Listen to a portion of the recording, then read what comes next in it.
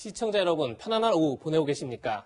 8월 마지막 주 토요 랭킹쇼 지금 출발합니다. 네, 이 자리에는 천은미 호흡기 내과 교수, 이현종 문화일보 논설위원, 최영일 시사평론가 나오셨습니다. 어서 오세요. 안녕하세요. 네, 그럼 오늘 저희가 준비한 한 랭킹 키워드부터 만나보시죠. 네, 첫 번째 한 랭킹 키워드는 바로 집콕입니다. 거리두기 2.5, 다시 집콕. 코로나19 상황이 심상치 않죠. 그러다 보니 실내외 마스크 착용이 의무화됐는데 곳곳에서 마스크 착용을 둘러싼 갈등이 이어지고 있습니다. 특히 대중교통에서 빈번하게 일어나고 있는데 이틀 전 지하철에서 있었던 일 영상으로 만나보시죠. 야, 얘 같이 무슨 상관이야? 이거 그니까 맞아!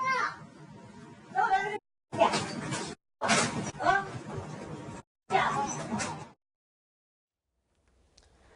교수님, 지금 뭐 치료제도 안 나와 있고 백신도 없는 상황에서 마스크가 최고의 백신이다 이런 말까지 하는데 전원장님 어떻게 보셨습니까? 어, 굉장히 위험한 장면입니다. 본인이 무증상 감염자일 수도 있기 때문에 상대편에서는 공포스러울 정도로 무서운 상, 태죠 예. 그래서 우리나라가 이만큼 그 방역을 잘한 거는 초기에 다른 나라에 비해서 마스크 착용을 좀 열심히 했던 게 가장 중요한 요인이고요. 예. 어, 양쪽이 다 마스크를 쓰시면 감염률이 거의 한 1.5% 정도 대부분 막을 수 있습니다. 하지만 확진자가 마스크를 안 쓰게 되면 70% 이상 감염을 시킬 수가 있기 때문에 굉장히 위험한 거고요. 어, 백신은 사실은 나오더라도 지금 한 효과가 50% 정도 있을 것 같고 그리고 이것이 어, 홍역 같은 장기 면역이 아니고 일반적인 독감이나 그런 것처럼 어, 변이를 잘하기 때문에 한 6개월 정도밖에 가지 않을 것이다. 그러면 우리가 매년 백신을 맞아야 된다. 맞더라도 고령자나 그런 경우는 항체가 안 생기기 때문에 걸리실 수가 있거든요. 그러면 가장 중요한 지금으로 현재 예방 방법은 마스크라고 생각합니다. 그러니까 마스크가 처음과 끝이라고 생각하시고 앞으로도 마스크 착용을 생활하는 것이 필요할 것 같습니다. 예. 네. 지하철에서 난동을 부린 이 남성은 결국 어제 구속됐는데요. 법원에 출석한 남성의 목소리부터 듣고 오시겠습니다. 도대체 폭행 왜 하신 겁니까? 지하철에서 마스크 써야 되는 거 모르셨어요? 예, 몰랐습니다. 피해자분들께 하실 말씀 없으세요? 아, 잘못, 잘못했습니다. 약을 한 24장마냥 정신과약을 받고 돈을 줘. 약 때문에 폭행하신 건가요? 어- 어- 언제나 그랬는데, 근데 자신은 이런 일이 없어서 최선을 다하겠습니다. 마스크 착용하는 거 원래 모르셨나요? 잠을 못 잤어요. 하루 종일 교회에 네, 위원님 뭐 보신 것처럼 폭행을 왜 했냐는 기자의 질문에 마스크를 써야 하는지 몰랐다. 뭐 이런 대답을 하고 있어요. 그러니까 굉장히 비상식적인 답변이죠. 어, 얼마 전에도 사실은 이제 버스에서 마스크를 끼라는 운전기사의 어떤 요구를 듣지 않고 바로 버스 기사를 폭행했던 분이 이제 구속된 상황이 있었습니다.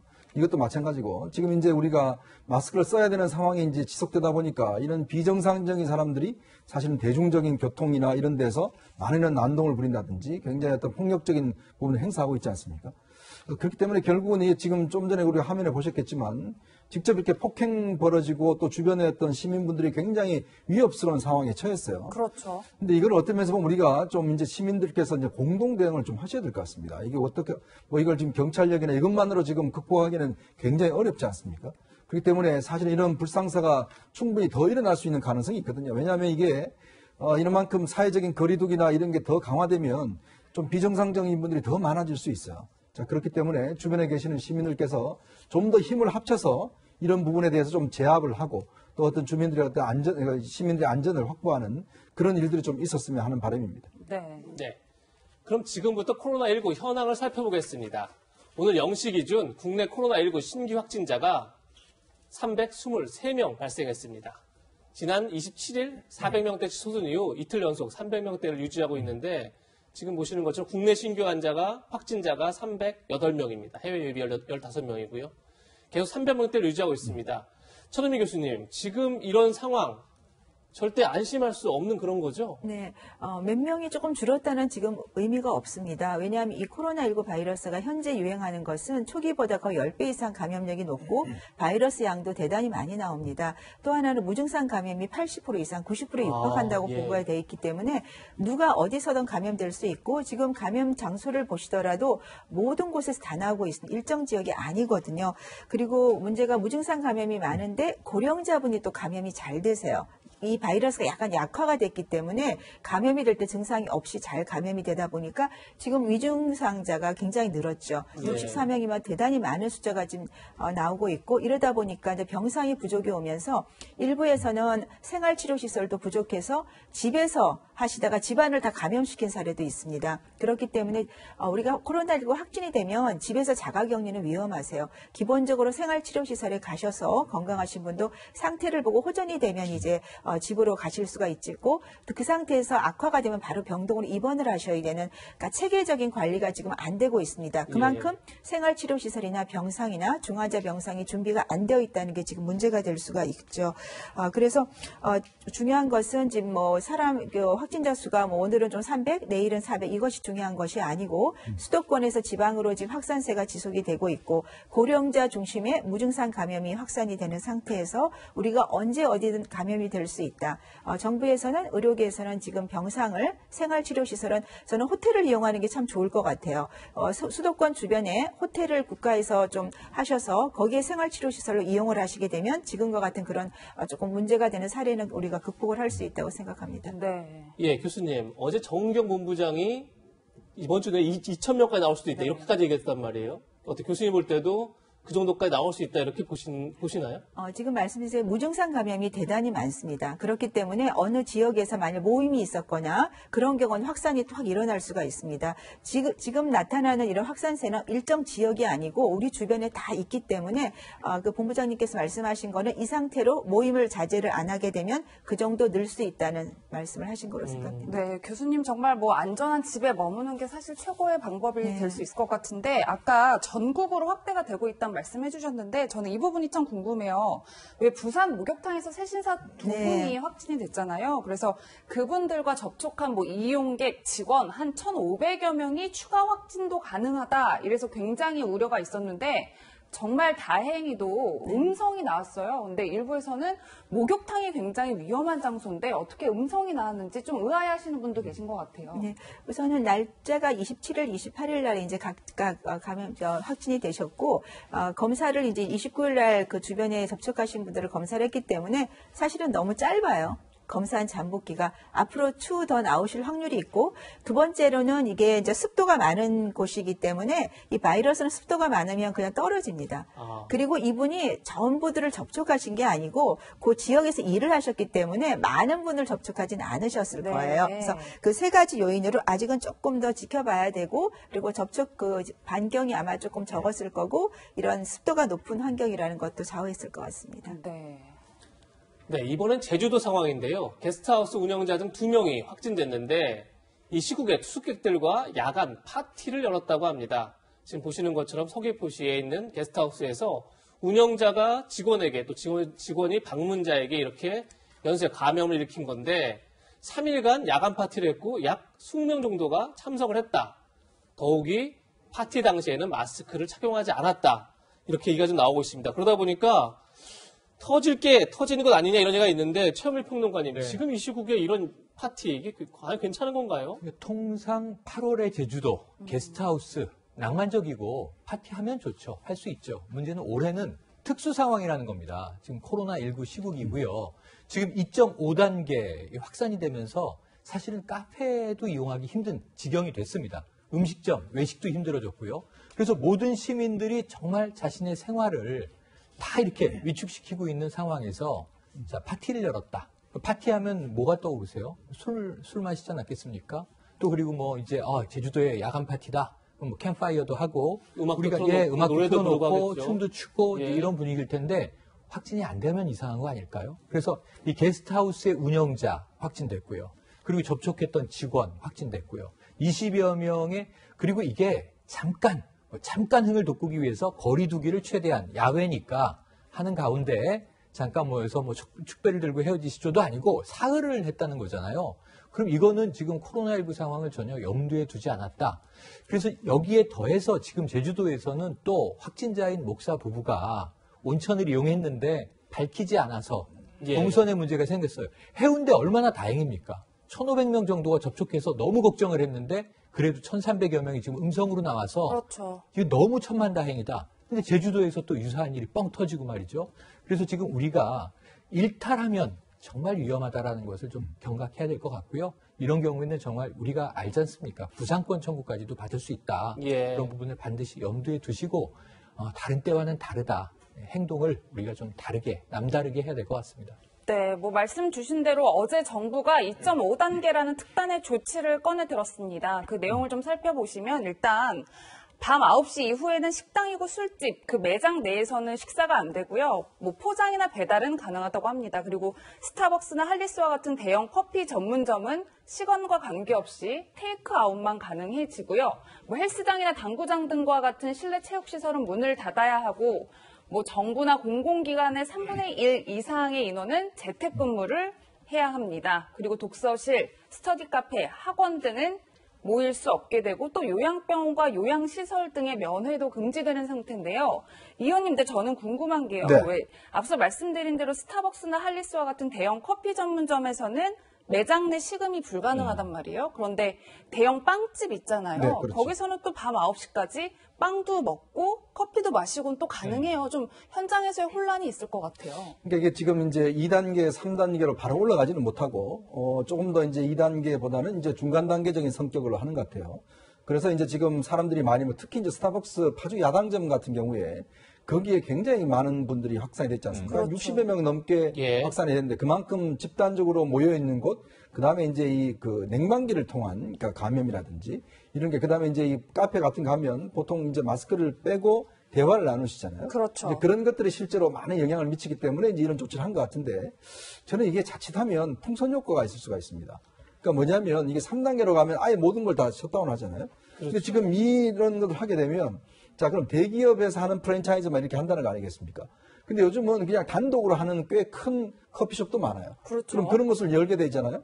그리고 요즘은 다 빵집인데 그 베이커리가 실제 카페처럼 운영하는 데가 많습니다. 그렇죠. 이제 그러니까 그런 데 같은 경우는 그러면 실질적으로 예를 들어서 요즘은 뭐 프리랜서라든지 또 거리에서 시간을 보내신 분들 같은 경우에 이게 중간에 쉴 수 있는 공간이 필요하거든요. 그러면 이분들이 예를 들어서 이런 스타벅스나 뭐 할리스나 대형 프랜차이즈 안 가겠지만 그러면 다른 빵집에 파리바게트라든지 이런 데는 갈 수 있잖아요. 그러면 거기에 사람들이 너무 많이 모일 수 있다는 거예요. 그러니까 어떤 면에서 보면 이제 분산 효과를 노린 건데 자칫하면 이게 풍선 효과로 해서 한 곳에 더 집중하는 효과? 왜냐하면 수요는 일단 이- 있는데 공급 자체를 줄여버리면 당연히 어떤 특정한 곳에 몰릴 수 있는 가능성이 있지 않습니까? 그러니까 저는 이게 정부가 굉장히 좀 탁상공론이 아닌가라는 생각이 들어요. 그리고 지금 이제 식당 같은 경우도 이제 밤 9시 이제 이후에 못 열게 돼 있는데 그렇게 되면 사실 호프집이나 이런 데 같은 경우는 사실 9시 이후에 본격적인 영업을 하는 데인데 그런 데들은 일단 다 문을 닫게 돼 있습니다. 그러니까 참 대책 없이 일단 문을 닫아야 되는 상황이기 때문에 단순히 그냥 밥만 먹는 식당만 하는 것인지 이게 사실은 이제 좀 너무나 편의적으로 한 게 아닌가 또 하려면 예를 들어서 전반적으로 다 실시해야 되고 어떤 여러 가지 지금 현재 시장 상황을 잘 모르기 때문에 저는 아마 이 조치가 되면 제가 우려한 바와 같은 그런 풍선 효과도 좀 걱정을 해야 될 것 같습니다. 예. 네. 천원미 교수님, 지금 이현주 의원께서는 풍선 효과가 오히려 우려된다. 근데 아무래도 정부는 3단계로 바로 가자니 경제적 타격이 너무 클 것 같고 그래서 이제 2.5단계라는 어떤 고유책을 낸 것 같은데 사실 전문가들은 다 3단계로 빨리 가야 된다 얘기를 많이 하셨잖아요. 교수님 볼 때는 2.5단계 어떻게 확진세를 좀 잡을 수 있을 것 같으세요? 어, 국민들이 다 협조를 하시면 어느 정도는 좋아질 수 있습니다. 그래서 뭐 지금 교회라든지 학교라든지 학원은 다 이제 원격으로 하기 때문에 어, 모임 자체는 많이 자제가 되죠. 그러니까 개인적인 어떤 모임을 자제를 해서 접촉을 어, 좀 상가하는 거 굉장히 중요하고요. 어, 말씀하신 대로 어, 카페하고 프랜차이즈하고 조금 차이를 두는 것도 조금 예, 어, 저는 이해가 조금 더 세심한 게 필요하다고 생각하고요. 한 가지 이제 미용실 같은 경우도 좀 그래요. 우리가 마스크를 못 쓰는 이유가 음식을 먹거나 물에 젖으면 못 쓰죠. 그래서 그 경우에도 좀 지침이 필요해요. 근데 이제 물에 젖다 보니까 벗게 되거든요. 근데 그런 것도 지침을 좀 주셔야 되고 식당 같은 경우도 지금 카페는 우리가 딜리버리를 하라 그러는데 포장을 식당 같은 경우는 음식을 드시게 돼 있죠. 그러면 거기로 몰리게 되면 말 그대로 풍선 효과나 그런 게 나타날 수 있기 때문에 식당에 대해서 이렇게 가림막을 한다든지 몇 명 인원을 좀 제한한다든지 좀 어, 치밀한 2.5단계가 필요하지 않을까 그렇게 생각합니다. 교수님 그러면 수일 내로 좀 더 구체적으로 제한하는 강력한 조치가 더 나와야 될 것 같아요. 그렇죠. 각 어떤 지점에 각 어떤 곳마다 세부 지침이 꼭 필요해요. 그냥 대강 하라 이러는 건 안 되거든요. 세부 지침을 좀 정부에서 지정해 주는 게 좋을 것 같습니다. 예. 네, 이렇게 사회적 거리두기가 강화되면서 최대한 안전한 집에 머물러야 한다는데 그래서 뭐 개인 유튜브를 중심으로 집에서 할 수 있는 놀이들이 소개되고 있습니다. 그 영상을 함께 보실 텐데요. 뭐 지금 보시면 이렇게 뭐 커피를 만드는 소개 영상도 공개가 되고 있고요. 네, 또 이렇게 뭐 휘저어서 커피를 만들고 우유도 따르고 저게 달고나 커피를 만드는 그런 네, 영상이겠죠. 집에서 이제 시간을 보낼 수 있는 그리고 또 집 앞에 자신의 카페를 만드는 직접 만드는 영상도 보여주고 있습니다. 네, 홈카페를 만드는 모습인데요. 교수님 뭐 이렇게 집에서 빵을 만드는 모습, 커피를 만드는 모습들을 소개하면서 뭐 안정적으로 좀 집에서 코로나 시기를 견뎌 보자 이런 취지의 영상들 같은데 최근에 뭐 코로나 블루 뭐 이렇게 해서 정서적 불안감 호소하시는 분들도 있잖아요. 뭐 뾰족한 방법이 있을까요?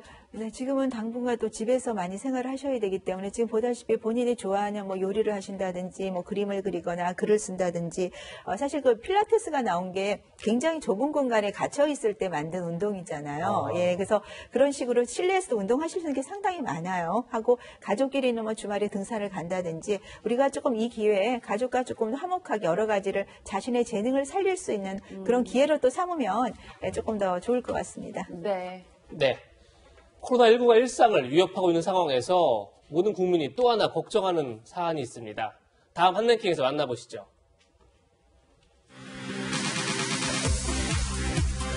네, 두 번째 키워드는 총파업입니다. 바로 정부와 의료계의 충돌 소식인데요. 먼저 어제 정부 입장을 들어보시죠. 정부는 8월 28일 10시를 기하여 전공의와 전임의 대상의 업무 개시 명령을 수도권에서 전국으로 확대합니다. 아울러 8월 26일 수도권 소재 전공의와 전임의를 대상으로 발령한 업무 개시 명령에도 불구하고 우선 이 명령을 이행하지 않은 10명에 대해서 오늘 10시 30분 경찰에 고발 조치할 계획입니다.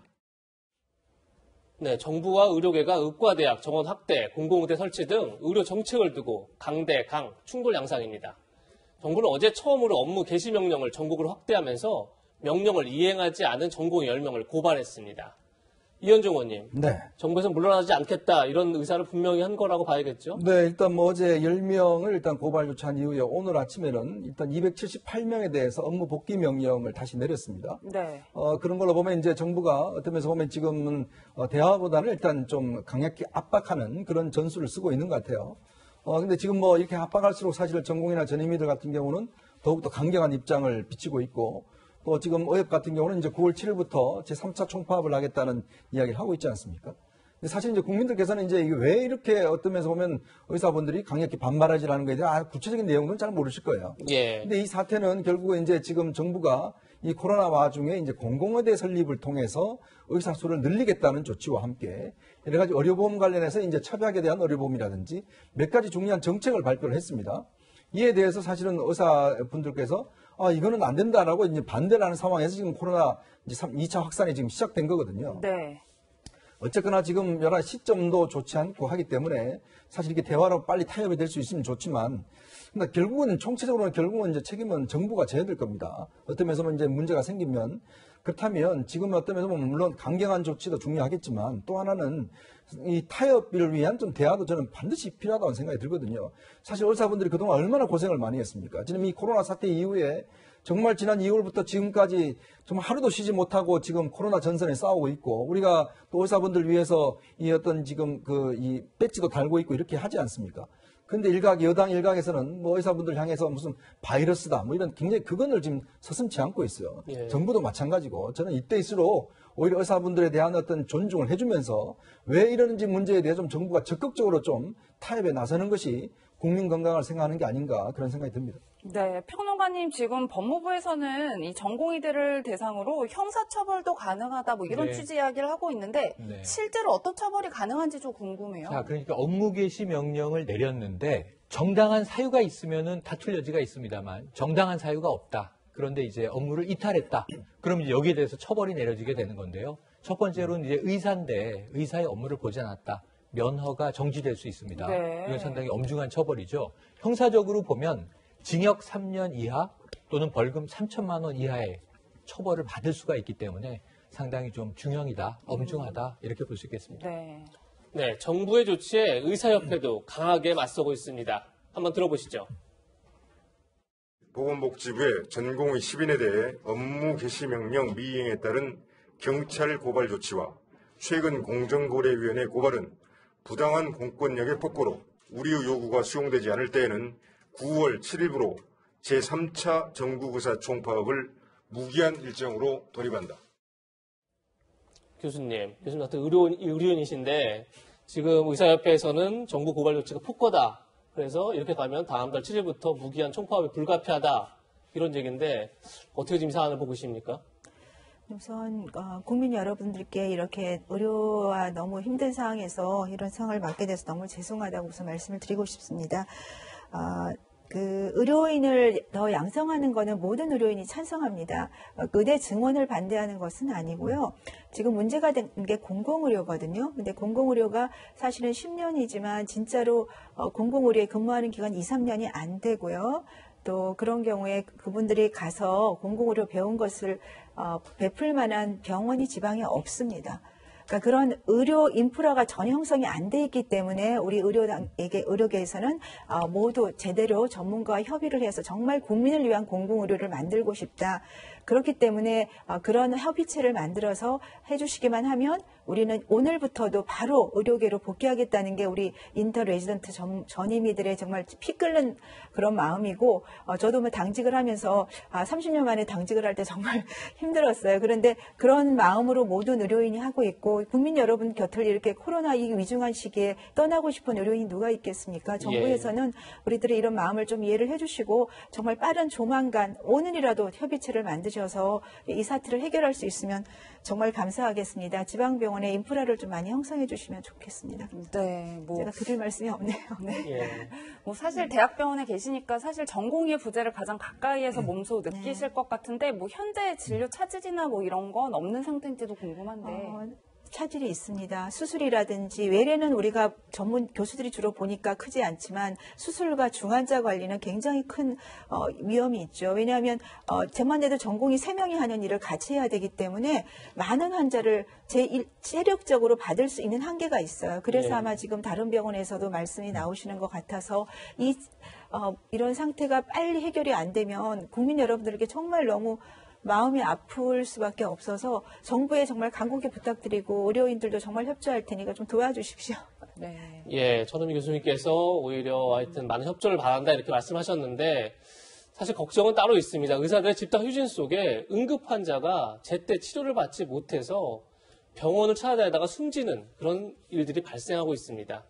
화면 보시는 것처럼 지난 27일에 약물을 마시고 중태에 빠졌던 A씨가 있는데 병원 13곳 을 3시간 동안 문의했지만 다 지금 의사가 없어서 환자를 받을 수 없다고 해서 제때 처치를 받지 못해 끝내 숨지는 그런 사고가 있었습니다. 28일에도 새벽에 심정지가 온 30대 남성이 의정부 시내 4개 병원에 어, 연락을 했지만 이송이 불가하다 이런 통보를 받고 양주까지 이동하다가 결국 숨지는 그런 사고가 있었는데 이현정 의원님 네. 지금 뭐 의료계 절박한 사정 다 이해할 수 있는데 이런 일은 막아야 되지 않을까요? 일단 지금 의사분들이 이제 이런 코로나 이 국면에서 상당히 이쪽에 많이 집중돼 있고 또 지금 일단 뭐 파업 사태가 생기면서 이제 이런 의료 공백들이 조금 생기는 거거든요. 근데 이제 조금만 생각해 보면 지금 의정부나 사실은 수도권 서울에 조금만 벗어나도 의료 시스템이 굉장히 어떤 면에서 보면 낮습니다. 이제 그렇기 때문에 조금만 어떤 파업을 해버리면 실제로 의료 시스템이 가동 안 되는 지방은 더 심한 상황이거든요. 결국 이제 이런 게 좀 깊게 들어가 보면 너무나 의료 시스템이 이제 서울로 집중이 돼 있고 또 이제 의료 수가라든지 이런 것들이 어떤 면에서 보면 이게 이제 분리가 안 되다 보니 실제 돈 되는 것만 집중되다 보니 이제 그런 현상도 생기는 거거든요. 그러니까 굉장히 의료계 내부의 구조적인 문제 또 의료보험의 구조적인 문제가 있는 것이죠. 자, 그러면 이런 문제를 예를 들어서 정부가 좀더 의료진들하고 의협이나 또 의료단체와 좀 심도 있게 논의를 해서 대책을 마련했으면 모르겠는데 갑작스럽게 이렇게 지금 공공의료를 발표를 해버리니 코로나 국면에서 이런 사태가 또 생기는 거거든요. 자, 그렇기 때문에 지금 상황에서는 좀 더 이제 대화가 필요한 것이고 또 하나는 어, 물론 지금 시점 자체도 사실 좋지 않다고 봅니다. 특히 이게 예, 평상시 같으면 우리가 예전에 의약 분업 있을 때 그때 4개월을 파업을 했던 걸 알고 있어요. 그때도 사실은 뭐 굉장히 심각했지만 그때는 이제 코로나 같은 그런 상황은 없었으니까. 근데 지금은 이 코로나 국면이기 때문에 정말 위중한 상황이거든요. 그렇죠. 그렇다면 좀 더 이 부분에 대해서 의협이나 또 의사분들께서 좀 더 국민들을 생각해서 일단 이런 의료 체계가 무너지는 것만큼은 좀 막아야 되는 상황이 아닌가 어, 그런 좀 호소를 드리고 싶습니다. 네, 문재인 대통령은 의료계의 집단 휴진을 두고 군인들의 전당, 전장 이탈에 비유하기도 했는데요. 그 목소리 함께 들어보시겠습니다. 지금 이 코로나 아, 위기 상황에서 어, 의료인들이 의료 현장을 떠난다는 것은 어, 전시 상황에서 거꾸로 어, 군인들이 전장을 이탈하는 것이나 마찬가지라고 생각합니다. 네, 평론가님, 뭐, 최대집 대한의사협회 회장은 이 발언을 두고 이제 본인의 SNS에 즉각 대응을 했는데, 뭐, 내용은 이래요. 파시스트적인 형, 행태다. 뭐, 이런 취지의 얘기를 했어요. 네. 어떻게 보십니까? 그러니까 이제 정부나 또는 의료계나 이게 격앙되는 쪽이 진다라고 저는 생각해요. 이것이 어느 방향으로 흘러가느냐는 국민들의 여론, 민심의 판단에 달려 있다. 그럼 정부의 정책이 더 설득력이 있는 것이냐, 아니면 의료인들의 파업이 더 설득력이 있는 것이냐. 국민들은 지금 사실은 양쪽 다 짜증나는 거 아닙니까? 지금 이래야 되느냐. 자, 대통령은 지금 의료인들이 따라주지 않으니까 자, 지금 전시라고 선언을 했는데 바이러스와 싸우고 있는데 왜 군인들이 이 현장을 버리고 떠나십니까 하는 얘기고 그런데 이제 또 의료협회 회장은 오히려 이 정부가 뒤에서 총질을 하고 있다 이런 표현을 썼고요. 이 정부에 대해서 파시스트적이다 이런 표현까지 등장했어요. 그럼 국민들이 느끼는 건 그 내용의 이 여부보다도 다 지금 분노해 있다, 격앙돼 있다, 불안한 거거든요.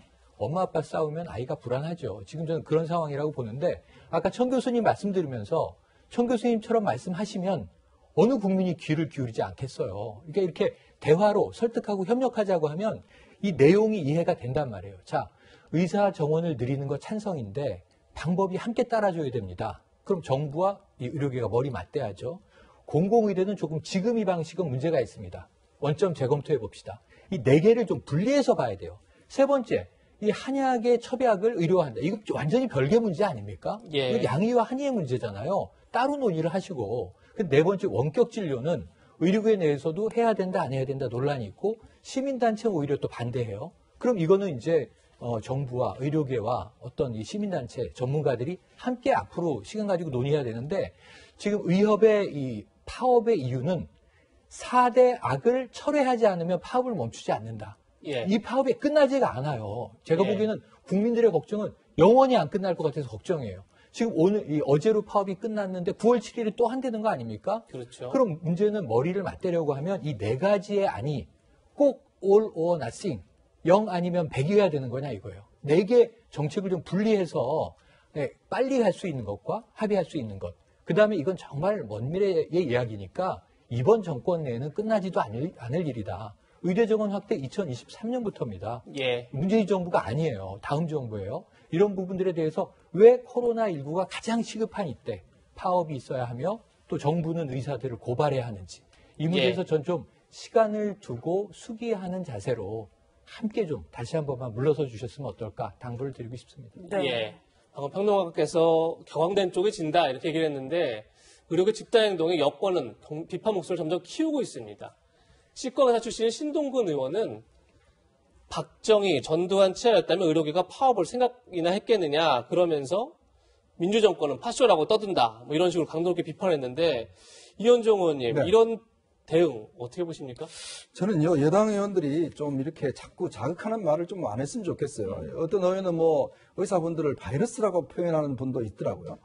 저는 정말 그동안 이분들의 해왔던 노력들 그걸 인정해 주면서 예. 문제가 뭔지 정치란 게 뭡니까? 뭔가 타협을 이뤄내고 갈등을 해결하는 게 정치인 할 역할 아니겠어요? 그렇죠. 근데 지금 정치인들은 보면 오히려 문제를 더 키우는 게 정치인의 할 일인 것처럼 생각하고 있는 것 같아요. 제가 예전에 정치부를 출입하다 보면 정치인들이 이런 문제가 생기면 현장에 가서 이야기를 들어봅니다.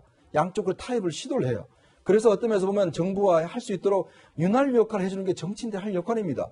이렇게 지금 뭔가 강한 이야기를 하고 야 옛날에는 이렇게 탄압한데 세상 좋아진 거 알아. 이렇게 지금 윽박지를 문제가 아니지 않습니까? 그리고 이분은 치과 의사 출신 아닙니까? 그렇죠. 그렇다면 의사의 어떤 심정을 누구보다 잘 이해할 텐데 그렇다면 이분이 이 이야기할 시간에 의사분들 만나서 이야기 좀 들어보고 그리고 거기 뭐 요구가 뭔지 정부의 입장이 뭔지 그걸 하는 게 순서 아닌가요? 지금 앉아서 그냥 페이스북이나 이 두드리지 마시고 정말 정치인들이 해야 될 일들 이 문제를 해결해야 되는데 좀 저는 앞장섰으면 하는 바람입니다. 네, 교수님 뭐 다음 달 7일부터 무기한 총파업 이야기도 나오고 뭐 의대나 대학병 교수님들도 좀 참가하겠다 이런 의사를 밝히고 있는 것 같은데 점점 강대강 대치로 가는 것 같아요. 타협점을 찾을 수 있을까요? 어, 노력하면 되죠. 어, 지금 가장 큰 이슈는 공공의대입니다. 저는 개인 아까 최영일 선생님 말씀하신 네 개를 분리를 하고 지금 가장 문제가 되는 걸 하나만 처리를 하면 그 다음에 논의를 통해 충분히 할 수 있다고 생각하고요. 어, 우리나라 의료 체계를 의료인들은 더욱 좁게 만들고 싶죠. 이거를 하향해서 국민들에게 피해를 주고 싶지 않기 때문에 그 문제를 좀 심도 깊게 논의해서 정말로 우리나라 공공의료를 확대를 해서 국민들에게 도움이 되는 쪽으로 하고 싶다는 게 유일한 소망이고 저도 개인적으로 이 문제만 어, 국가에서 같이 원점에서 재논의를 한다면 아마 의료계는 바로 오늘이라도 국민들을 위해서 바로 자리로 돌아올 거라고 저는 확신하고 있습니다. 네. 지금은 정부, 의료계 모두 코로나 방역에만 집중할 때가 아닌가 싶, 습니다 여기서 천은미 교수님과는 인사드리게 나누겠습니다. 감사합니다. 그럼 저희가 준비한 세 번째 한 랭킹 키워드 만나보시죠.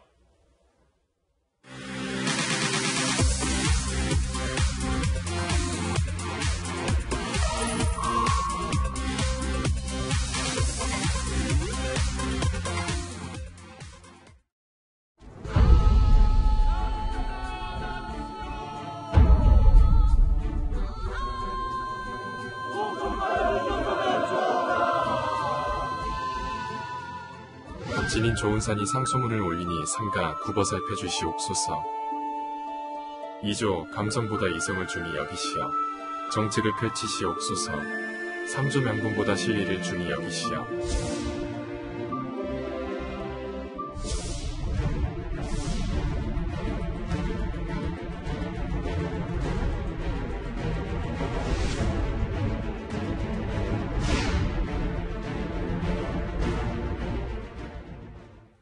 스튜디오에는 김광산 변호사 나오셨습니다. 어서 오세요. 안녕하세요. 현 정부의 정책을 상소문 형태로 비판한 시무 7조가 청와대 국민청원 게시판에 올라온 뒤 큰 관심을 모으고 있습니다. 재공지된 지 딱 하루 만에 답변 요건을 채웠는데요. 보시는 것처럼 12일 작성돼서 비공개 논란이 있었는데 27일 날 오후에 공개되고 오늘 낮 12시 30분 기준으로 33만 명이 이 상소문에 동의했습니다. 네. 김 변호사님, 네. 이런 호응 어떻게 보십니까? 일단 뭐 굉장히 좀 논란이 많이 되고 있는 것 같아요. 이제 첫 번째는 12일 날 사실은 이 작성해서 올렸잖아요. 그런데 그게 바로 공개된 게 아니고 한 15일 만에 비공개됐으면 비공개됐단 말이에요. 근데 비공개를 한 이유에 대해서도 이제 청와대에서는 뭐 절차에 따라서 아무런 문제 없다고 얘기하고 있지만 워낙 이 상소문 자체가 쓴소리를 담고 있잖아요. 현 정부에 대해서. 그래서 굉장히 내부적으로 많은 고민을 한 게 아니냐 이런 또 논란이 있고요. 또 하나는 내용을 보면 굉장히 조목조목 현 정부에서 이제 뼈아프게 굉장히 비판을 하고 있기 때문에 이걸 사실은 여기에 동의하시는 분도 있고 그러지 않으신 분도 있겠지만 어떻든 간에 현 정부 입장에서 보면 굉장히 이건 굉장히 거꾸러운 그러한 뭐 처음이라고 봐요. 그래서 그 내용 하나하나 굉장히 아주 정치적인, 정치적인 문구를 썼을 뿐만 아니라 현 시대의 상황을 굉장히 빗대어서 했기 때문에 이 부분도 굉장히 많은 뭐 지지도 받고 있고 관심을 좀 많이 갖고 있지 않느냐 이제 그런 생각이 들고요. 그다음에 세 번째로 그럼 이렇게 쓸 수 있는 사람이 누구냐? 이제 작성자가 누구냐? 예. 이 부분에 대해서 굉장히 관심이 많은 걸로 보입니다. 예, 그건 이따 다시 한번 얘기를 나누도록 하고요. 네, 평론가님 뭐 앞서 얼핏 짚어주시긴 했는데 청와대에서 왜 보름 동안 비공개 처리를 네, 했잖아요. 근데 뭐 맞습니다. 기준에 따라 비공개 처리가 됐다면 문제는 없을 것 같긴 네. 한데 네. 또 일각에서는 이 비공개 처리 자체를 비판하는 목소리도 있어요. 네, 맞습니다. 이제 비공개 처리는 지난해 3월에 이 청원 시스템에 도입이 된 방식이에요. 근데 뭐 이, 이해는 돼요. 일리가 있습니다. 왜냐하면 워낙 욕설이라든가 비방 그리고 또 중복된 게 있어요. 왜냐 여러 사람이 한 이슈에 대해서 쭉 이럽시다 저럽시다. 그럼 이게 문제는 어, 너무 혼란하니까 그러면 사전 동의 100명을 얻는 것을 원칙으로 한다. 이건 지난해부터 적용되고 있는 거예요. 그런데 지금 이 글은 비공개 상태에서 4만 6천 명의 동의가 이루어졌습니다. 비공개 처리를 해도 못 보는 건 아니에요. 해당 게시물의 URL을 예. 쳐서 들어가면 볼 수는 있어요. 그렇다고 하더라고요. 예, 근데 이제 일부에게 전면 공개가 돼 있지 않는 거죠. 그런데 이게 비공개 상태에서는 그럼 사전 동의를 100명 채워라 하는 의미로 이해할 수는 있는데 조금 길었어요. 보름 정도. 그리고 이게 굉장히 폭발적으로 지금 이 조회수가 늘고 있고 동의가 그렇죠. 많습니다. 네. 어제 제가 20일만 넘은 걸 봤는데 오늘 벌써 30만을 넘기고 있습니다. 그러니까 20만을 넘기면 청와대가 또 답변해야 되는 룰이 있지 않습니까? 그렇죠. 그러면서 청와대가 한 보름 정도 비공개로 이제 처리했던 것이 혹시 이 비판에 대해서 청와대가 조금 껄끄러웠기 때문은 아니냐 하는 추정들이 나오고 있는데 청와대는 당연히 아니라는 입장이죠. 네. 네. 이현주 의원님, 네. 그 내용을 좀 보면 몇 가지 폐하, 이 나라가 폐하할 것이 아니듯 헌법은 폐하할 것이 아니옵니다. 그리고 또 무릇 정치란 백성과의 싸움이 아닌 백성을 뺀 세상 나머지 것들과의 싸움인 바 폐하께서는 작금에 이르러 무엇과 싸우고 계신 것입니까? 뭐 이런 내용들이 포함되어 있는데 의원님께서는 내용을 어떻게 보셨습니까? 이 시무라는 게 당대 해결해야 될 중요한 문제, 뭐 이런 뜻의 시무라고 쓰지 않습니까? 어, 조선시대 율곡 이이가 시무 6조를 이제 그때 예- 어, 선조한테 이야기를 했었죠. 예. 그러면 10만 양병설을 이야기를 합니다. 자, 지금 일본이 어, 따- 이 어떤 왜군이 침범할 우려가 있기 때문에 10만 군을 양성해야 된다라고 어, 건의를 했는데 결국 그, 그 건의를 무시했죠. 바로 그 이에 우리가 침탈이 됐지 않습니까? 고려 시대에도 시무 28조가 있었고요. 또 신라 시대에는 시무 어, 10조가 있었습니다. 어떤 시대에 맞게끔 그 시대가 해결해야 될 문제들에 대해서 이제 시무를 한 건데 이분 같은 경우는 이제 7조라는 거에서 이제 모두 의미를 담아냈는데요. 어, 문재인 정부가 사실은 이제 지난 정부의 탄핵으로 해서 세운, 세운 정부 아니겠습니까? 예. 촛불 혁명으로 세운 정부라고 이야기를 했죠. 자, 그러면 지난 정부에서 못했던 소통 어떻습니까? 4년 지났는데 잘 돼 간다고 느끼십니까? 또 하나, 우리가 국민들이 느끼는 일자리 좀 많아졌습니까? 부동산 문제, 내 집 마련 좀 잘 되어 가십니까? 자, 그런 걸로 비춰보면 지금 국민들 입장에서 보면 한 이렇게 4년이 됐는데 바뀐 게 뭔가? 내 삶이 지금 좀 더 나아진 게 뭔가? 하는 걸 보면 자, 최근에 검찰과 지금 추미애 장관이 하는 이런 문제라든지 또 편가르기 문제라든지 또 부동산 문제라든지 결국 국민의 삶이 너무나 막혀 있는 거죠. 물론 뭐 저만 느끼는 건지 모르겠습니다만은 많은 국민들이 이걸 보시면서 동의를 한 것은 그만큼 이 시대에 어떤 필요한 이야기를 너무나 어떤 풍자와 유머를 섞어서 한 이야기에 굉장히 좀 사이다 같은 느낌이 있는 게 아닌가. 저는 최근에 개그 콘서트가 없어졌지 않습니까? 예. 이게 없어진 이유 중에 하나가 물론 시청률이 안 나와서 없어졌지만 코미디언들 이야기를 보면 뭔가 현 정치권에 대해서 풍자를 하면 바로 어떤 면에서 몰매를 받는다는 거예요. 음, 그리고 네. 또현 정부에 대해서 비판하게 되면 바로 하차시키고 이러다 보니까 예. 결국은 할 수 있는 장이 없기 때문에 개그 프로가 우리가 공중파에 사라졌거든요. 그만큼 어떤 면에서 풍자도 할 수 없는 개그를 할 수 없는 시대에 이런 어떤 면에서 보면 속 시원한 이야기가 어떤 폭발적인 반응을 일으키고 있는 게 아닌가 저는 그런 느낌입니다. 네, 변호사님 뭐 앞서서 누가 썼는지에도 관심이 쏠린다 말씀해 주셨는데 정말 필력이 대단한데 저희가 준비한 영상을 함께 보시면 그 일부 문단의 앞 글자만 이렇게 따로 떼서 읽어보면 함께 보실까요? 현미, 해찬, 미애, 조국, 현 여권 지도부의 이름이 나오는데 좀 의도한 것 같아요. 여권 지도부 중에서도 뭐 그렇게 논란이 되지 않았던 사람은 뭐 저게 나오지 않고요. 가장 이제 논란의 중심에 있던 사람들 네 명을 이제 콕 집어서 어떻게 운율을 맞춘 거고 또 어떻게 보면 마치 이행시 같은 그런 느낌이 그렇네요. 드는데 네. 이 이행시를 굉장히 어떻게 보면 물론 뭐 어, 동의하지 않는 사람도 있겠지만 어떤 현 상황에 맞게 굉장히 문장을 좀 꼭 집어서 어, 이걸 적시를 했다고 봐요. 그래서 아마 이렇게 할 정도 되면 본인 자체가 제가 볼 때는 뭐 본인은 미천하고 아무것도 모르는 뭐 그런 뭐 서생인 것처럼 얘기를 했지만 뭐 상당히 어떤 문학적인 측면이랄지 언어적인 측면 이런 면에서도 일각에 있을 뿐만 아니라 제가 볼 때는 또 그 내용 전체를 보면요 이제 상소문이잖아요. 그러니까 예. 조선시대 주로 상소문이 있었고 그 이제 상소가 무엇인지 본질을 좀 아는 사람인 것 같아요. 그리고 최치원 얘기도 나오고 그런데 역사에 대해서도 좀 약간 상당히 일각에 있는 사람이다. 그러면 본인이 말하는 것처럼 뭐 먼지 같은 그러한 어떤 일반적인 사람이 아니고 상당히 어떤 필력이랄지 아니면 어, 그 밖에 어떤 정치적인 시사랄지 이런 면에서도 상당히 어떤 실력을 가지고 있는 사람이 아닌가 저는 그렇게 생각합니다. 예. 네. 이 시무 7조를 올린 청원자가 진인, 조은산 이런 필명을 쓰고 있는데요. 평론가님, 24일 날 새로운 청원을 올렸다고요. 네, 그건 또 어떤 내용인 거죠? 지금 이제 뭐 시무 7조 가장 이제 이 회자가 되고 유행이 된 그러한 이제 청원 외에도 여러 가지를 올린 바가 있어요. 예를 들면 뭐 김현미 파직.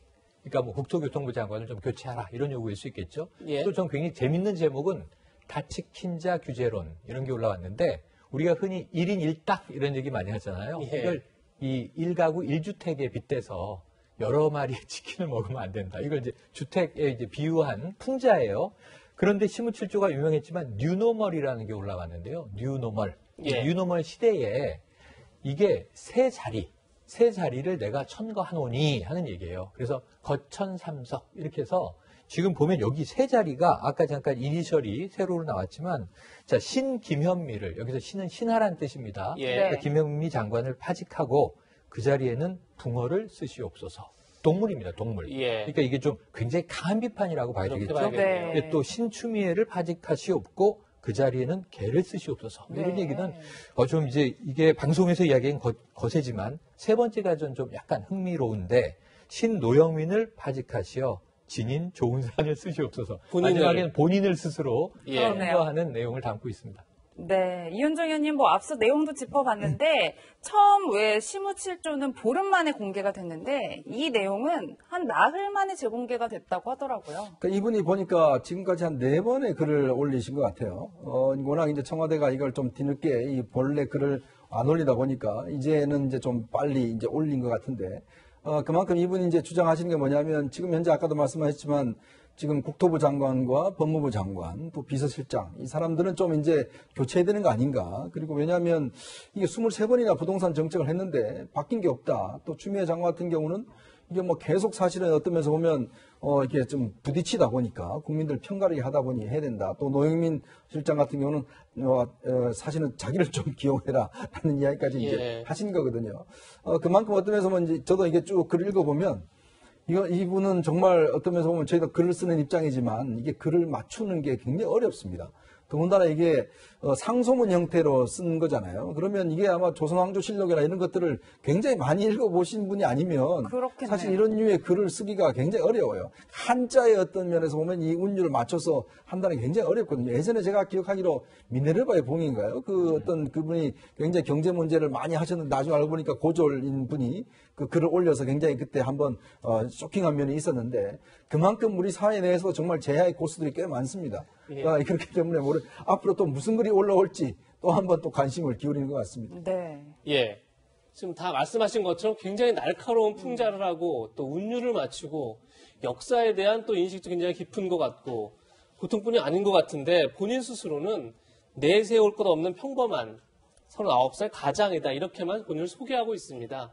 한국일보 인터뷰에서도 글과 관련된 일을 하지 않는 그냥 박봉 월급쟁이다. 그 진인이라는 필명을 쓰고 있는데 진인은 먼지 같은 사람이라는 뜻이다. 그러면서 공사판 전전을 했고 그래서 현장의 먼지 처지와 내가 닮아서 진인이라고 졌다. 뭐 이런 식으로 본인을 소개하고 있는데 변호사님 본인을 숨기기 위해서 낮추는 건가요? 거- 아니면 이게 어떻게 봐야 되는 거죠? 저는 그런 측면이 좀 있다고 봐요. 이제 지인, 이제 먼지 같은 사람, 그 사실도 이게 예사롭지 않는 말이거든요. 그렇죠. 그런데 본인 이야기는 총각 때 공사장을 전전긍긍했다는 거예요. 그래서 매연이랄지 먼지 같은 걸 흩날리고 그래서 어렵게 일했, 일했기 때문에 진인이라는 그런 호를 썼고 이제 조은사는 그래서 이제 필명이라고 그럽니다. 그런데 우리가 생각할 때 그냥 일반적인 사람이 어떻게 호나 필명을 가질 수는 없잖아요. 근데 이 호나 필명도 사실은 굉장히 의미가 있단 말이에요. 또 일반 사람이 쓰는 그런 또 처지는 아니다고 봐요. 그리고 본인이 이제 인천에 거주했고 두 아들을 가졌다고 얘기를 하고 있으면서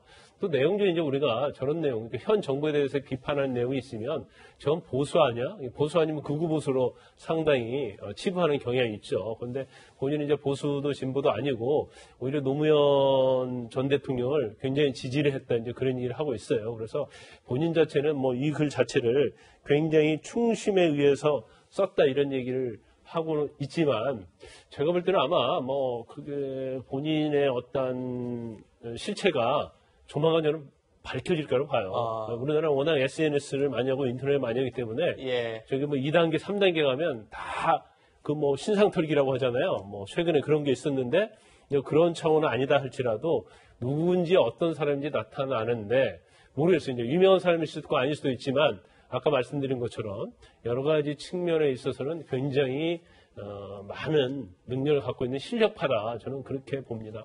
네, 평론가님 결국 이 부분이 가장 궁금하실 것 같은데 어쨌든 이 7무7조 상소문이 청와대 답변 기준인 20만 명을 네, 네, 넘었잖아요. 맞습니다. 뭐 이르면 다음 달 초에 뭐 답변을 하겠다는 얘기가 있는데 네. 무슨 대답을 할 수 있을까요? 자, 이 상소문을 받아들여 국토부 장관, 뭐 청와대 비서실장 또는 이제 법무부 장관을 교체하겠다 이런 이 답이 나올 가능성은 없다고 보고요. 예. 대신에 이제 이 국민들의 어떤 심경, 지금 부동산 정책이라든가 또는 검찰 개혁 과정에서 이제 여러 가지 갈등 이런 것들에 대해서 좀 이제 유감을 표하고 국민의 비판에 귀를 기울이겠다. 이런 원론적인 답변 나오지 않겠습니까? 네, 짧게 한 말씀 드리면 예. 우리 역사나 뭐 드라마나 영화를 보면 상수를 올려가지고 그 상수 받아들인 적을 저는 한 번도 본 적이, 안 나- 본 적이 없는 것 같아요. 그리고 이 상소문 내용 자체가 현 정부가 계속 장관이 뭐 국회 상임위에서 했던 얘기 아니면 청와대 대변인이 얘기했던 거 아니면 대통령께서 직접 언론과 인터뷰했던 이런 내용과는 굉장히 정반대적인 얘기예요. 그리고 현 정부는 모든 것은 잘 되어가고 있다. 그리고 안 된 것은 시간이 지나면은 효과가 발휘할 것이다. 이렇게 얘기를 하고 있기 때문에 제가 볼 때는 이 상소문이 일부라도 받아들여질 가능성은 거의 제로에 가깝지 않나 싶습니다. 네, 뭐 네. 지켜보겠습니다. 다음 정치권 소식으로 이어가겠습니다. 네 번째 키워드는 바로 20억입니다. 20억. 20억 아파트 증여받은 DJ 손자. 먼저 김대중 전 대통령 셋째 아들 김홍걸 의원 얘기부터 들어보시죠. 어쩔 수 없이 상속을 받은 동교동 집까지도 포함시켜가지고 이 뭐 3주택이다 이렇게 얘기하는 것은 좀 부당한 것 같고요. 어쨌든 당의 방침이 있기 때문에 저도 정리해야 할 것은 곧 정리하려고 생각하고 있습니다. 제가 사는 집만 빼고는 곧 정리가 될 겁니다. 네, 어제 국회의원, 고위공직자 200여 명의 재산이 공개됐는데 민주당 김홍걸 의원이 내로남불 논란의 중심에 섰습니다. 방금 들으신 것처럼 지난 7월, 7월에 다주택을 정리하겠다 이렇게 밝혔는데 20억 원대 강남 집을 판 게 아니라 아들에게 증여에 논란이 되고 있습니다. 최영일 평론가님, 네. 이 논란 한번 정리해 주시죠. 자, 지금 이제 이 국회의원들 일부 175명에 대한 재산 공개가 있었죠. 이것 때문에 최고 부자는 누구다, 가장 빚 많은 사람은 누구다. 뭐 어제 신문에 많이 회자됐고요. 그 중에 이제 김홍걸 의원은 이제 집이 세 채다 논란이 있었는데 지금도 이 마- 말씀 들어보시면 매각하겠다 이렇게 매도하겠다 얘기는 안 했고 예. 정리하겠다 이렇게 얘기했는데 대다수는 그것을 집을 팔겠다 내놓겠다 이렇게 이해를 하고 있었던 거죠. 그런데 그 중에 강남에 있는 아파트 20억입니다. 세채 가격을 합치면 76억 원의 이 부동산 자산가예요. 그런데 그 중에 적지 않은 비중인 20억의 강남 아파트를 이 차남에게 증여한 것으로 확인이 된 겁니다. 이 증여세도 적지 않게 나왔는데 왜 이것을 저이 팔지 않고 증여했을까? 뭐 이유가 있을 텐데 이 기부위원 측은 둘째가 건강이 좋은 편이 아니다. 지난해부터 이 아르바이트로 어, 월 평균 한 100만 원 정도 소득을 얻고 있는데 아내가 둘째 명의로 증여하자 이렇게 결정해서 따른 것이라고 밝히고 있습니다. 네, 이 의원님 뭐 앞서 언급은 주셨지만 저희가 김 의원 측의 좀 입장도 들어봐야 될 것 같은데 저희가 영상으로 좀 준비를 해봤어요. 그래서 금매로 팔기보다는 몸이 좋지 않은 차남에게 증여하는 게 낫다고 판단을 했고 또 증여세 6억 원도 모두 납부했다. 그래서 이제 문제가 될 건 없다 이런 취재 해명이에요. 글쎄 뭐 법적으로 문제는 없어 보여요. 뭐 그렇게 이야기를 하시는 것 같은데. 근데 저는 참이 의원의 이런 태도를 보면 지금 정계 입문한 이후에 지난번 형과 지금 김대중 대- 재단 이 재산을 놓고 다툼을 벌여서 소송전까지 갔지 않습니까? 예. 또 이번에도 지금 이 집 문제 때문에 지금 이 다툼이 벌어지고 또 본인은 이 이유를 아 자기는 팔라고 그랬는데 부인이 그냥 정리하자고 그래서 했다. 또 부인한테 또 책임을 돌리고 있어요. 근데 왜 정치를 하셨는지 저는 모르겠습니다. 정말 그동안 김대중 대통령과 이호 여사께서 싸워오셨던 또 이분들 좋아하고 여전히 가슴 속에 담아 있는 사람들에게 굉장히 어떤 면에서 보면 좀 고춧가루 뿌리는 그런 형태를 보이시는 것 같은데 저는 근본적으로 자꾸 이렇게 논란을 불러일으킨 것들 더군다나 지금 보면 이게 다들 이 증여세 같은 경우 유고건 같은 경우도 사실 증여세 이게 올라가기 바로 직전에 예를 들어서 이게 증여를 한 거거든요. 예. 그러니까 세율이 낮을 때 증여를 한 겁니다. 네. 그 본인이 또 국민들 앞에 이야기했지 않습니까? 팔겠다라고. 그럼에도 불구하고 또 증여로서 이게 팔아봤단 말이죠.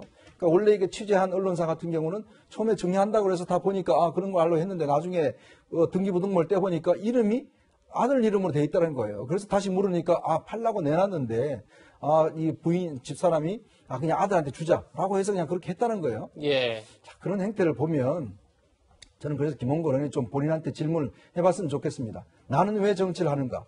이렇게 재산 문제를 가지고 계속 아버님의 어떤 명예에 훼손을 한다라고 한다면 저는 과연 김홍걸 의원이 정치할 이유가 뭔지 다시 되물을 수밖에 없습니다.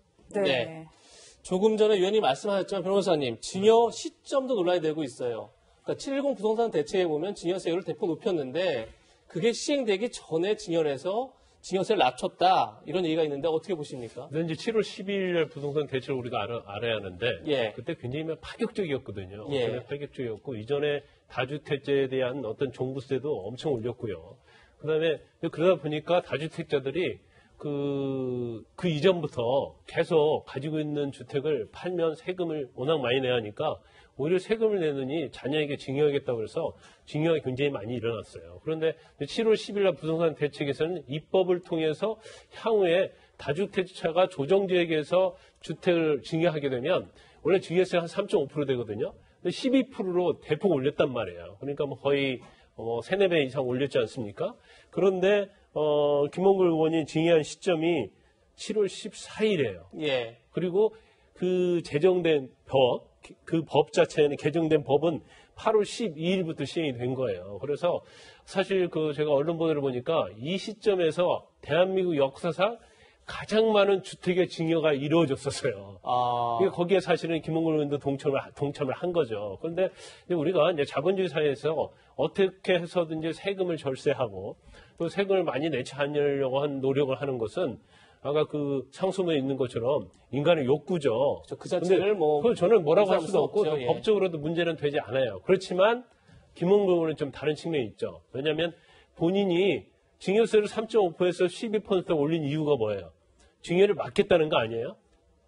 증여를 막아서 이게 시장에 매물로 나오게 해서 부동산을 잡겠다는 취지인데 정부 그? 법의 예. 발의에 동의하고 또 통과하는데 본인이 일조를 했는데 예. 네. 어떻게 보면 일반 뭐 시민들이 하는 것처럼 본인 자체는 이율 배반적인 행동을 한 거죠. 그래서 이게 좀 논란이 좀 많이 되고 있다고 봅니다. 예. 네, 이 의원님뿐만 아니라 뭐 아들에게 이렇게 증여를 한 것뿐만 아니라 그 이후에 전세금 인상된 것도 굉장히 구설에 오르는데 좀 살펴보시면 이제 기존 세입자가 있을 거 아니에요? 이분이 나가면서 지난 12일에 새 세입자가 들어와요. 근데 무려 4억 원이나 전세금을 올려서 받았어요. 일단 김 의원 측은 시세대로 받은 거라 문제될 건 없다라는 입장인데 일단 김 의원이 주장하는 법 취지와는 좀 상충된다 이런 지적들이 있어요. 이것도 법적으로 문제는 없습니다. 예. 본인도 주장하지만. 자, 그런데 지금 우리가 전세, 지금 이2 플러스 2 임대차 계약, 그 임대차 3법을 통과시켰지 않습니까? 그걸 왜 통과시켰습니까? 결국 임차인의 어떤 권리를 보장해 주기 위해서. 그래서 2년 그 살면, 어, 특별한 게 없으면 2년을 더 살게 하고, 그다음에 5% 안으로 이제 그, 이제 이 인상률을 조정하겠다는 거 아니겠어요? 그렇죠. 그 입법 취지 때문에 여당이 추진해 왔지, 왔지 않습니까? 그것 때문에 임대인들이 얼마나 또 많은 반발을 했습니까? 자, 근데 정작 본인은 보니까 그 살고 있던 전세 나가게 한 다음에 4억이나 높게 했어요. 그러면 물론 뭐 그 사람한테 4억을 더 받은 건 아닙니다. 새로운 입주자한테 4억을 더 받은 것인데 그렇죠. 물론 본인 입장에서는 내가 시세대로 받았다. 맞습니다. 시세대로 받은 겁니다. 그게 인간의 욕망이에요. 시장의 흐름입니다. 자, 근데 본인은 지금 그 삼- 임대차 3법을 통과하는데 찬성표를 던진 겁니다. 네. 자, 그렇기 때문에 우리가 이해 충돌이라는 면이 있잖아요. 그래서 예. 우리가 국회의원을 왜 하겠습니까? 국가에서 많은 돈을 주면서 국회의원을 또 국민의 대표를 왜 하겠습니까? 국민을 위해서 일해달라고 하는 거 아니겠어요? 근데 김홍걸 의원이 지금 하는 행태를 보면 정말 부동산 투자를 잘하는 사람의 움직임을 여전히 보인 거 아니겠습니까? 그러면 부동산 투자를 하세요. 국회의원 하지 마시고. 근데 그렇게 어떤 면에서 보면 이렇게 자꾸 하는 게 정말 아버지가 그동안 해왔던 여러 가지 민주화에 대한 업적들 과연 거기에 걸맞는 것인지 또다시 한 번 더 묻겠습니다. 네. 예.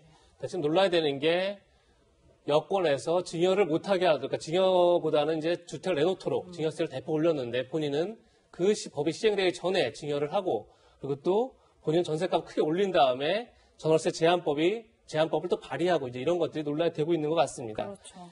평론가님, 근데 네. 지금 이 20억짜리 아파트가 굉장히 인기가 있는 강남에서 굉장히 인기가 있는 아파트라고요? 네, 강남이고요. 지금 이 주변은 재건축이 다 끝나서 상당히 좀 이 저 지역 정비가 다 된 거죠. 학군도 좋고 강남이지 않습니까? 뭐 다 누구나 선호하는 데인데 근데 입지 자체가 좋아서 지금 굉장히 선호되는 곳이라고 해요. 그러니까 물론 돈이 있는 사람은 사고 싶은 매물일 수도 있겠지만 지금 이제 전셋집으로 내놨는데 이 4억을 올려도 사실은 바로 지금 계약자가 들어온 거잖아요. 예. 네, 그런데 이제 한 가지 저는 아까 증여에 대한 비판을 우리가 좀 했으니까 예. 이 집은 지금 김홍걸 의원께 아니라 아들 명의의 소유다. 예. 이걸 생각을 한다면 임대인이 이제 김홍걸 의원이 아니고 그 음. 처남이 이제 임대인이 되는 거겠죠. 하지만 앞으로 이제 2 플러스 2, 5% 상한제 적용을 받을 테니까 계속 좀 지켜봐야 될 것 같습니다. 네, 뭐 변호사님 일단 통합당에서도 비판의 목소리 내고 있고 뭐 앞서 언급해 주신 대로 그 이복형과 지금 재산 잡tum을 하고 있는 과정이기도 해서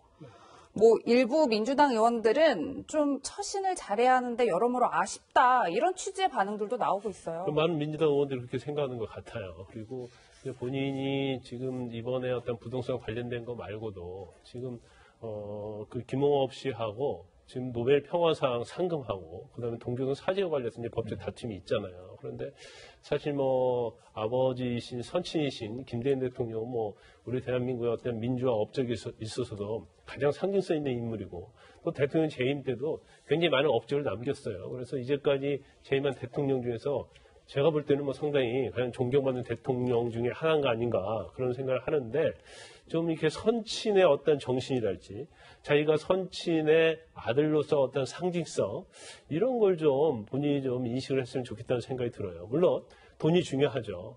그렇지만 본인의 어떤 어, 위치랄지 누구의 자녀냐 그 부분에 대해서 인식을 한다고 한다면 사실 얼마를 갖고 있는 게 중요한 게 아니잖아요. 더군다나 어, 지금 김홍업 씨와 관련된 것도 사실은 어, 대통령의 어떤 기념과 관련된 사업을 하는데 하느냐 안 하느냐 그런 것이지 다른 자녀들이 나눠 갖자는 건 아닌단 말이에요. 그렇다면 이제 그런 측면에서는 좀 본인이 좀 생각을 좀 달리 한다고 보고 아마 그런 것 같아요. 이제 민주당에서도 워낙 대통령 아들이라는 상징성이 좀 있고요. 그 다음에 민주당이 어려울 때 호남에서 좀 상당히 도움을 줬다고 생각하는 것 같아요. 그래서 뭔가 쉽사리 어, 좀 직언을 하지 못하는 그런 상황이 아닌가 싶습니다. 네. 조금 전 1시부터 민주당은 새 지도부를 뽑는 전당대회를 시작했습니다. 혹시 화면이 준비됐나요? 예, 지금 보시는 화면인데 지금은 안규백 전국 대의원 대회 준비위원장의 인사말을 지금 하고 있네요. 전국 대의원대 네, 준비위원장 이게 안규백입니다. 코로나19 때문에 우리는 역사상 가장 조용한 전대가 아닐까 싶어요, 전당대회가. 참석자들이 한 10명이 내외로 참석을 했다고 그러고. 온 역량을 쏟고 있습니다. 잠깐 들어볼까요? 오늘 우리는 이러한 막중한 과제를 해결하고 당을 이끌어갈 당 대표와 최고위원을 선출하고 있습니다. 그동안 여러 가지 어려운 여건 가운데 공분일척의 심정으로 우리 당을 반석 위에 올리는데 혼신을 다하신 예, 이현종 의원님, 네. 지금 여기도 당사에서 전당대를 진행하고 있는데 역대 가장 조용한 전당대회가 아닐까 싶어요. 그러니까 이게 온택트 뭐 전당대회라고 이야기를 하더라고요. 그만큼 이제 이 코로나 국면이 정치 행태도 많이 바꾸는 것 같습니다. 예. 미국도 뭐 대선 지금 그 진행되고 있지 않습니까? 그렇죠. 근데 지금 우리도 마찬가지로 지금 이렇게 뽑혀지는 것 같은데 오늘 아마 지금 더군다나 지금 민주당 지도부가 이해찬 대표나 지금 그 어, 김태년 원내대표 같은 경우도 지금 아마 제가 알기로 자가 격리 지금 하고 있는 것 같아요. 내일 아마 다시 이제 풀린다고 하는데. 그러다 보니까 당 지도부도 없고 지금 일단 이 후보들은 즉 더군다나 이낙연 지금 후보 같은 경우도 아직 지금 자가 격리 중이거든요. 그렇죠. 그래서 지금 당사에서 저렇게 이제 아주 소규모 모여서 온라인으로 강의를 하고 그다음에 이제 이 온라인을 통해서 당 대표와 그다음에 이제 최고위원들에 대해서 이제 문자 투표를 하는 겁니다. 예. 그걸 이제 해서 하는데 특히 이번 같은 경우는 주로 다, 당원과 그다음에 저, 저, 이 권리당원. 거기에 대의원들과 권리당원. 거기 비중이 굉장히 높습니다. 일반 여론조사는 제가 알기로 한 5%인가요? 이거밖에 되지 않거든요. 그렇다 보니 아무래도 당원들의 어떤 뜻에 따라서 이제 결론이 나지는 건데 뭐 일각에서는 실제로 온라인을 하다 보니까 실제 투표율은 높다는 그런 이야기도 있어요. 네. 예. 왜냐하면 뭐 바로 그냥 뭐 가지 현장에 가지 않고 그냥 바로 할 수 있으니까 또 요즘은 워낙 이게 익숙하다 보니 그렇네요. 네, 네. 그렇습니다. 이게 어떤 면에서 보면 과연 이런 어떤 시대가 과연 민의를 과연 얼마나 담아낼 수 있을까라는 대한 또 하나의 실험인 것 같습니다. 예. 이해찬 대표는 어제 온라인으로 퇴임 기자회견을 가졌습니다. 그 자리에서 이 대표가 가장 강조한 메시지는 이거였습니다. 들어보시죠.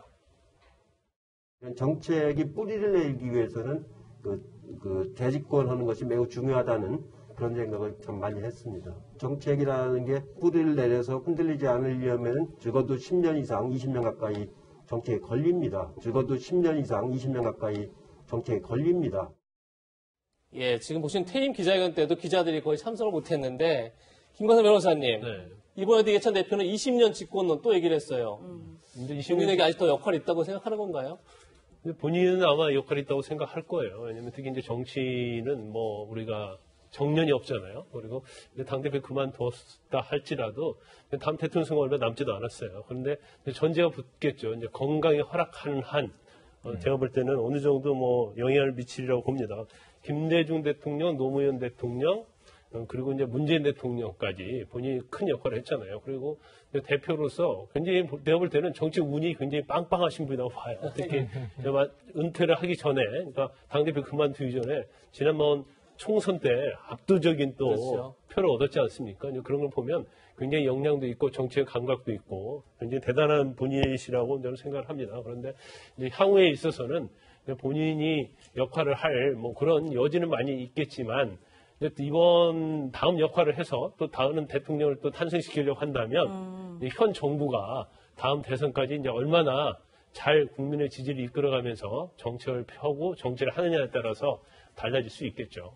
네, 이 의원님 앞으로 한 4시간 뒤쯤인 오후 5시면 이제 결과가 나올 것 같은데 뭐 말씀 주신 대로 정권 재창출이 가장 큰 과제가 되겠죠.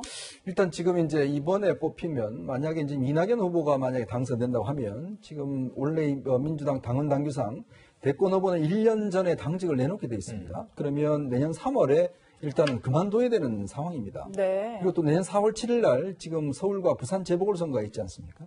이제 그렇다 보니 이제 지금 사실은 어쩌면 이낙연 후보가 만약에 대표가 되면 대표를 할 수 있는 기간이 이번 정기국회 정도밖에 없는 상황이에요. 이제 그러면 지금 당장 있는 뭐 공수처법이라든지 이건 문제라든지 굉장히 시간이 촉박하고 당 대표로서 얼마만큼 영향을 보여줄 수 있을 것인가가 시간이 굉장히 좁, 짧습니다.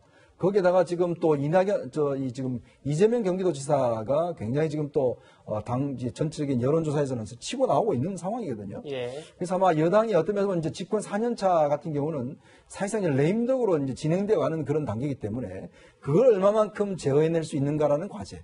그 다음에 지금 당장 있는 코로나와 경제 문제를 어떻게 해결할 수 있는가 과제. 이런 것들이 아마 차기 당대표가 해야 될 가장 절체절명의 과제가 아닌가 그런 생각이 듭니다. 네, 저희가 뭐 결과는 좀 더 지켜봐야 될 것 같습니다. 오늘 마지막 한 랭킹 만나보시겠습니다. 네, 마지막 한 키워드는 비상입니다. 어디가 비상에 걸렸을까요? 해군기지 진해가 비상인 이유입니다.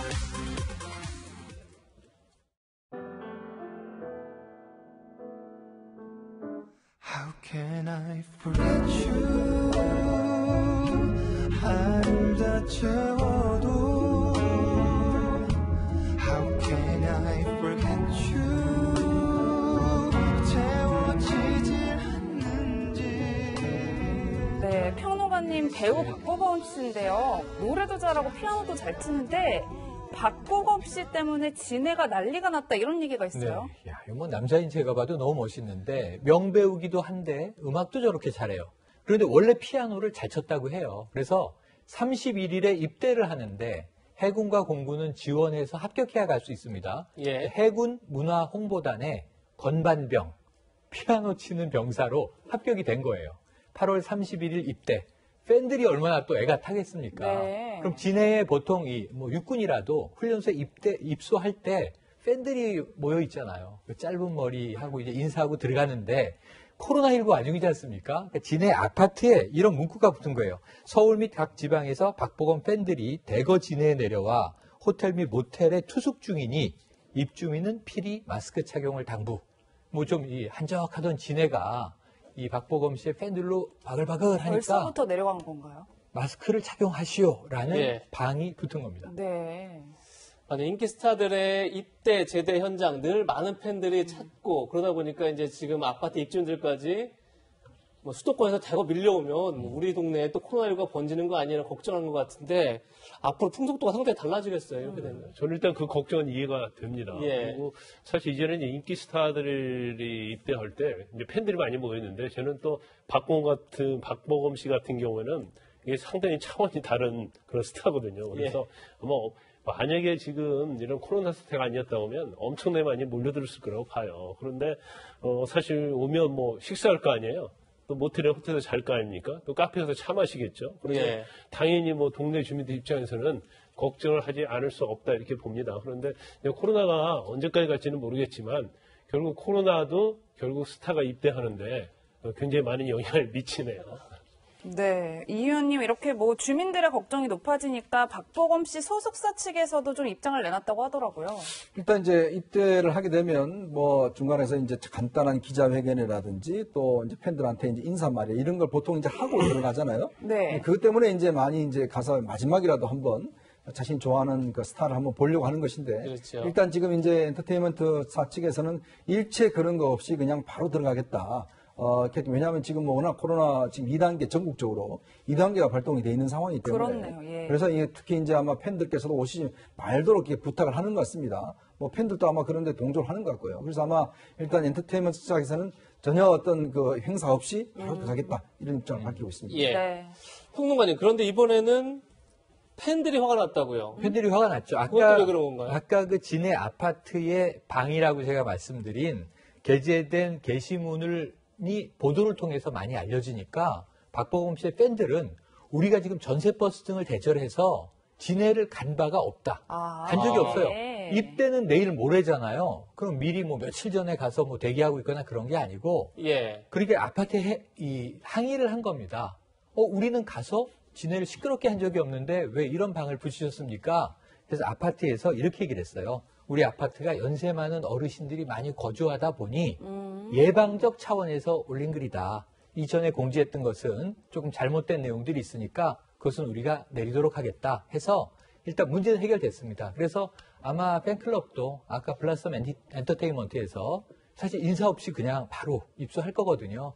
그래서 몇몇 팬들은 가서 마지막 뒷모습이라도 배웅을 하겠지만 우리가 이 통상 보던 많은 팬들이 그 입대하는 주변에서 시끌시끌한 장면은 보기는 어려울 것 같습니다. 네, 이 의원님 뭐 말씀 주시긴 했는데 박보검 씨를 시작으로 앞으로 좀 풍속도가 많이 바뀔 것 같기는 해요. 네, 좀 있으면 이제 트바로티 김호중 씨도 입대를 하고 하기 때문에 이제 그게 또 많은 또 팬들이 계시니까 얼마 할지 모르겠습니다만은 어쨌거나 이 뭐 이런 연예계뿐만 아니라 지금 정, 아, 좀 전에 우리가 얘기했던 정치뿐만 아니라 모든 일상들이 지금 이 코로나 국면에 사실 언택트한 그런 사회로 이제 많이 바뀌고 있는 것 같습니다. 그만큼 마음의 준비도 좀 해야 될 것 같습니다. 네, 연예계 소식까지 저희 발빠르게 준비해봤습니다. 주- 저희가 준비한 소식은 여기까지입니다. 세 분과는 여기서 인사 나누겠습니다.